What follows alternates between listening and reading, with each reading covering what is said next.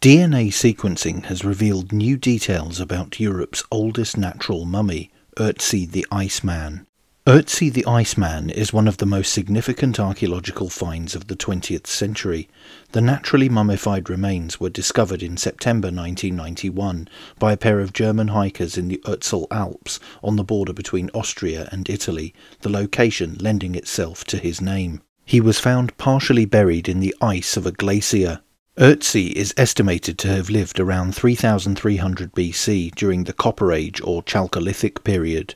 The body was remarkably well preserved due to being encased in ice for thousands of years, which helped protect it from decomposition. Ötzi was about 5 feet 5 inches, 160 centimeters tall, and around 46 years old when he died. He had various tattoos on his body, likely created for ritualistic therapeutic purposes, as they were placed over areas with evidence of arthritis. He was found with an impressive array of well preserved artifacts, including clothing made from animal skins and plant fibres, a grass cape, a leather belt with a pouch, a copper bladed axe, a bow and arrows, and more. These artifacts provided insights into his daily life, activities, and the technology of the time. Ötzi's cause of death was initially thought to be exposure to the elements or a fall, but subsequent examinations revealed an arrowhead lodged in his left shoulder, suggesting a violent end. The discovery led to extensive scientific research and analysis. Experts examined his DNA, isotopes in his teeth, and various aspects of his remains to learn about his ancestry, health conditions, diet, and where he may have lived. Researchers used advanced technology to analyze Ötzi's genome to obtain a more accurate picture of the Iceman's appearance and genetic origins. This led to his genome being decoded for the first time more than a decade ago, this was also the first time the genome of a mummy had been sequenced.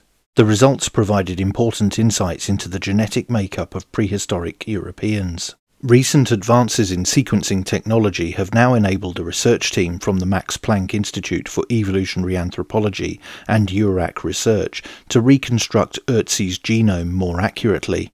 The results of this recent analysis refine the Iceman's genetic picture, and while the Iceman did indeed cometh, it is unlikely that he needed to cometh, as he was most likely bald, and the revelations did not end there.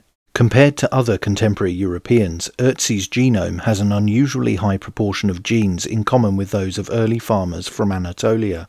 And, contrary to previous findings, at the time of his death, Ötzi had advanced hair loss, and as mentioned, may have even been bald. Furthermore, his skin had a darker appearance than previously thought. Ötzi's genes also revealed a predisposition to diabetes and obesity. The report, which was published in the journal Nature, read Unlike previous analyses performed on the previous Iceman genome, we found no evidence for the presence of steppe related ancestry in the high coverage one. Instead, his genome is best modelled as a genetic mixture between European hunter gatherer related ancestry and early Neolithic farmer related ancestry. The absence of steppe related ancestry is consistent with the dating of this individual preceding the arrival of steppe related ancestry in Central and Southern Europe.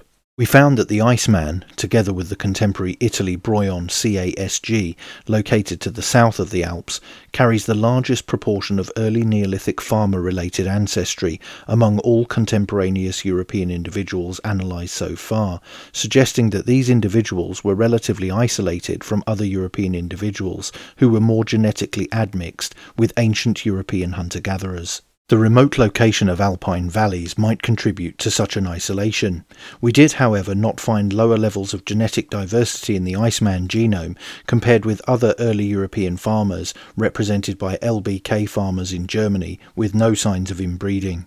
Altogether, these observations add nuance to our understanding of the mixture processes underlying the rise of the European hunter gatherer related ancestry throughout Europe during the 5th and 4th millennium BCE.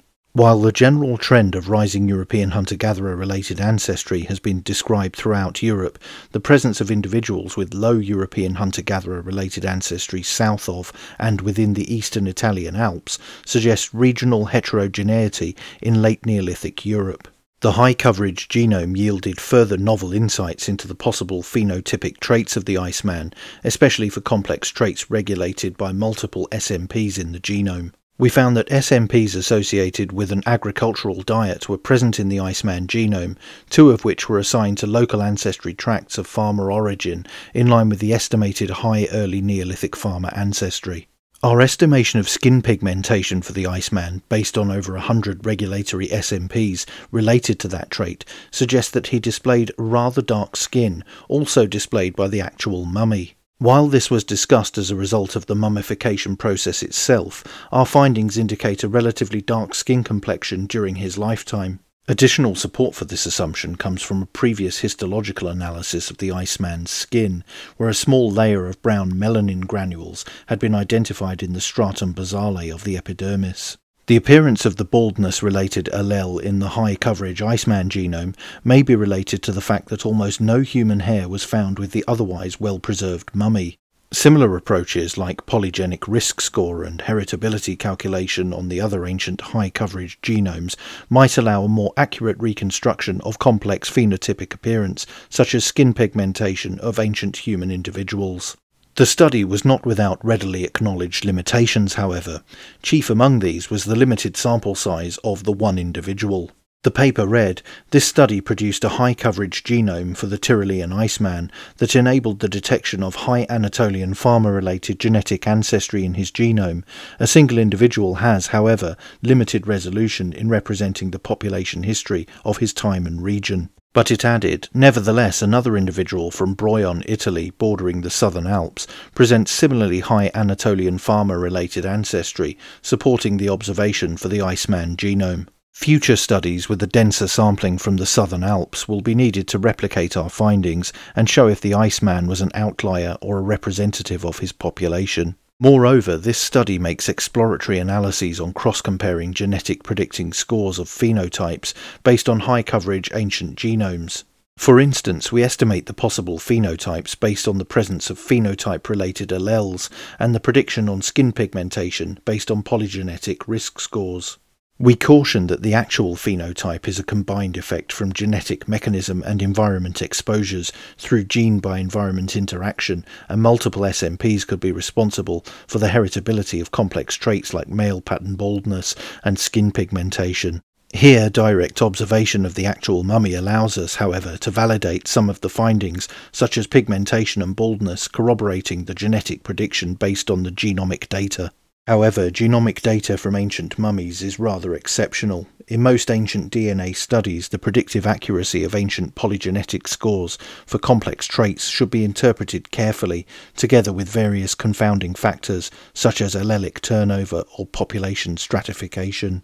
That's it for this video. Don't forget to like, share, and most importantly subscribe. And you can also support the channel on Subscribestar via the link in the description or via YouTube Super Thanks. Thanks for watching. Bye for now.